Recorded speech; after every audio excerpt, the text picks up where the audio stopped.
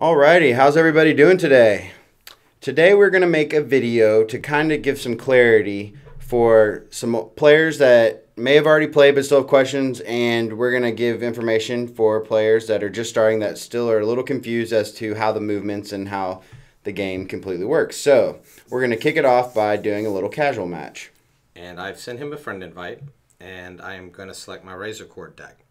Uh, friend invites allow you to play with no time limit. So you know, make friends, invite them, and you can play at your pace. So the first thing you're going to do is select two cards, or up to two cards rather, that you may want to replace in your hand for your strategy. Uh, in this particular case, I have a legendary and two epics. I'm not going to exchange any cards. So I'm going to confirm. Uh, there is a timer on this and a timer on this next part. So we're going to flip two cards to see who gets to decide who to go first. And I won, so I'm going to check out the board and decide uh, if it's in my best interest to go first. Um, so looking at the board, you have different types of cards that influence other cards. You are going to select one of these cards to start your moves each turn for eight rounds. Okay.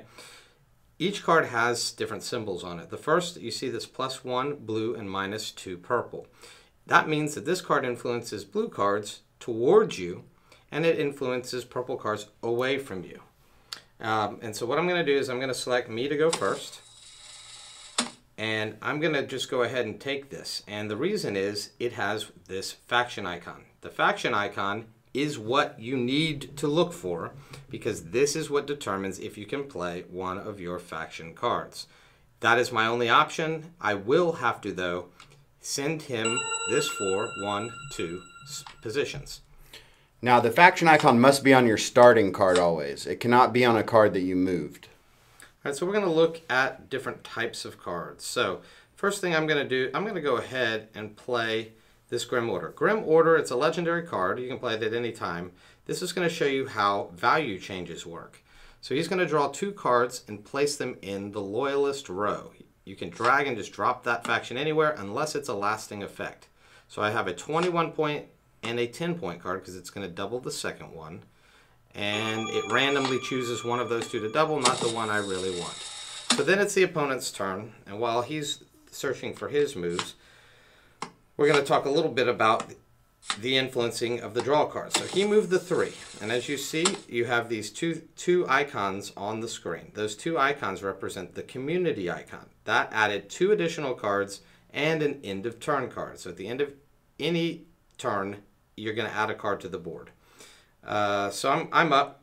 I've got a couple interesting faction cards.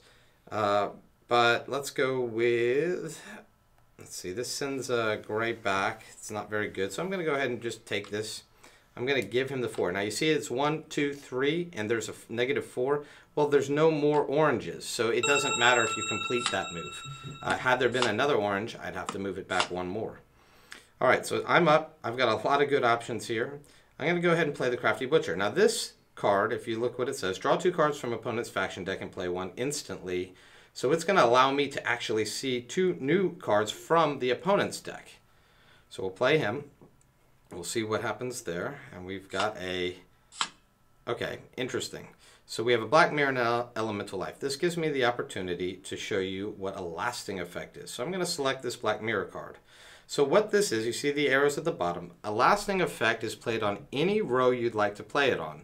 That particular card, though, is only valuable on the opponent's row. If you play it on your row, you're sending cards to your opponent, which is not what you want to do. So Black Mirror, clearly I want to play it on either the Recruits or Loyalist. I will choose his Recruit row. The blue card represents uh, any blue card that enters that row will automatically go to my Recruit row. And that's how lasting effects are played. So he's taking the negative three, which moves multiple cards towards towards him. It's a very powerful card, those negatives. Uh, he's also avoiding the black mirror row. And as you can see, the lower the card value, the higher the positive movements associated with it. So they were able to move a five and a seven and a six over two spaces. Right. As you see, these twos actually do a lot of movement. In the right circumstance, they can be super powerful. So let's go ahead and look at uh, another card that is interesting, and I'll play this first. So I'm going to move this nine. You, one thing we didn't mention is you see it says loyalists, and then there's a silver kind of bar at the top. Well, that represents the starting position as loyalist. If I chose this card, it says recruits, and the starting position would be in recruits. There are no allies, but if there was one, like the first one I took, it starts in allies. So we'll go ahead and take this. I'll just bank that. And banking means if you put it in allies, uh, they can never be attacked. They can't be moved. They're your points guaranteed. Um, and so now I get to choose again. Now I'm going to show you this card. So Doppelganger is an interesting card because this is one of the rare cards that actually pulls cards from anywhere on the board, in the deck, or even in the afterlife. And so as you see, he moved this five over. So Doppelganger pulls all three of these inside traders to my allies. So right now, that's actually more valuable because that five would come over here. That's like a 10 point swing. So it becomes a 20 point card. So if I play that, you'll see it's going to automatically give me the chance to take that five. And then it's going to automatically bring it directly out of the community deck and into my ally row. So that was a, a, a lot more powerful play than maybe it normally would be. So he's looking again at different options, and he's going to go with a move option. Or no, he didn't. He went with a faction option. So he's going to move me the five to draw more cards out, move the six. So he's going to get to play a card now. What are you playing? So it looks like they're going to go with Ascended Master. Ascended Master is going to draw a card, automatically decide if it's even or odd, and if it's odd, he gets to move one card plus two, and if it's even, two cards plus one. So he took the eight. And I, the end of turn card was a nice one for me. I will go ahead and move that. Um, now, I have my choice. You see all the purples are highlighted. I can move any purple I want minus one. So I'm going to just give him the four rather than giving him more points. In this case, a black minus two. Obviously, the two is the better option. I'll go ahead and pull that back. All right, it's another lasting effect, Blade Storm.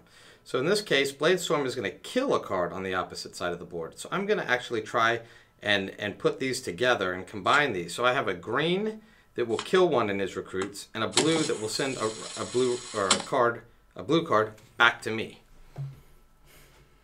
So he's going to play, and basically by the looks of it, he's going to go with the one because he can take my, the 21 all the way to the other side. Hmm. And that's a giant point swing right there. It is. It is a giant point swing. So now I have to decide what the best move is. So looking at the board, I'd say it's still going to be this. I could take that 21 points out, but I don't want to. We'll leave it there for a minute. So I'm going to take uh, the entrepreneur. He sends a lot of purple cards, but look, there's two of these, and I can actually just send him four points, basically, to his side. And I'm actually going to take this four. Ah, nah, we'll take the six. We'll leave the factions for this. All right, so now I want to I want to attack that 21. So I'm going to look at what's available to attack that 21. Well, there's nothing I have that can take it right now because every card I have does not do anything to it. But I can start by attacking it little by little. So if this round, I'm going to protect all of my cards at least with a freeze effect and I'm going to reduce his card down a little bit. So I'm going to take that 21, I'm going to reduce it by 7 or 8, and then it freezes my card. So he's going to have a hard time moving, but he still want he still has a nice 13 point card. He'll probably want to continue to uh, move towards taking that card. So he's playing the 4, which is going to have to send the 2 back to the middle. He's doing a gray forward and he's moving that 13 up. So he's still got it. The blue, though, was affected by the black mirror sends it over to me, but the card is not frozen, um, so it could still be moved. So it looks like they played a little removal card.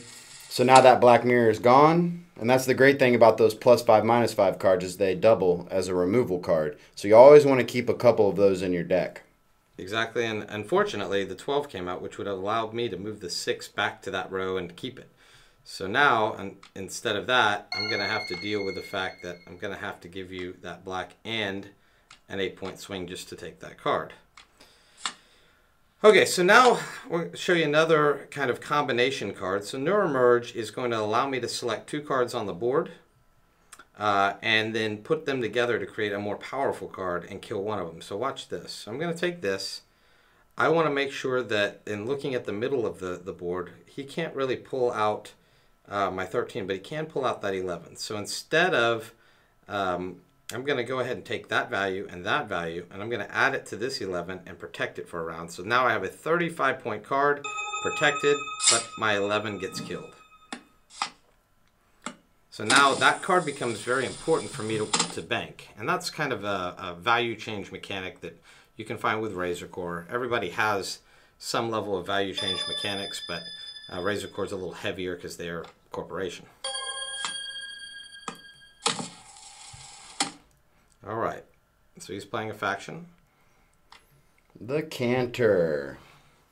And she is a swap effect. So you get to see how a swap effect works. So he's drawn two cards. He's going to take the lower of them, I'm sure. And he gets to swap with any card from my side of the board. Which keeps the game real close because, as you see, it's only 115 to 108 with a few rounds left. so, looking at how we're set, I'm a little concerned about my 35, you know, being taken. Um, so I'm actually going to uh, decide against uh, taking it or doing anything with it right now uh, because there's no plus orange movement. But there are some other options for me. Uh, so I'm going to start by moving this, let's see, you have gray. You have a lot of grays. This one moves that. I'm going to take the 7. That's going to allow me to, I'll just push back this 2. I'll push the, the 8 and 9 back. But I'll steal that 4 right back. So now I'm going to go ahead and I'm going to play Nocturne. It is a move card that's going to allow me to steal a card. And that 13 he just took from me is coming right back. And it's going to go right back into my allies. In this case, you'll see a skip action icon. If I had a negative card, that card actually allows me to send it to their side. I don't, so I'm just going to click skip, skip action. See, there you go. If I had had that negative 4, I would have absolutely tried to uh, move it. All right, so we're in round 7. He's playing. And he's going to go ahead and bank that 12, I'm sure. He's going to flip my 7 or set, yeah, probably my 7 and he flipped my 6. So that again keeps the game very close with one play left. So I'm up. I know I've got to do something. That 35 is still out there. I can't do anything with it really. Um, so I'm going to do some faction clearing. I'm going to take that. I'm going to send this back. I'm going to send that forward. And now there's no factions. Now I got the best play to, to lock in that 35 to make sure I can secure it. Phobia allows me to play on any card on the board and add 18 points to it and lock it for one round. So this card can be good to be played in the middle, so you get a, a, a, card, a starting card next round. But in this case, I just want to protect this 35, make it a 53 point card, lock it in, and that's going to make it a difficult comeback, especially since he did not receive a faction card. That's going to make it really tough for him. So he's going to play the best possible move he sees, which isn't much considering I was able to clear out the factions, lock in my points, and that's about as good as he could do. And there comes the faction cards that would have helped him. So I've got the win, um, but that gives you a really nice kind of view of the flow. And the games can be played really quickly, as you just saw, uh, but they can also be really intense and really deep and strategic. So try out each faction. Each one presents a new challenge and a new way to play. Uh, every game is always going to be different. And hopefully, this helps you kind of see some of the strategies that you can um, you can affect uh, with RazorCorp. Alrighty, so that's going to be it for this video. And uh, we should have some more for y'all in the future. But uh, hopefully, like Randy said, that this video has kind of helped y'all understand the uh, game a little more. And as you can see, he's kind of going through the faction library right now, or card collection. Um, so yeah, just check out the app. Tell us how you like it. Um, and like I said, feel free to reach out to us anytime you have questions.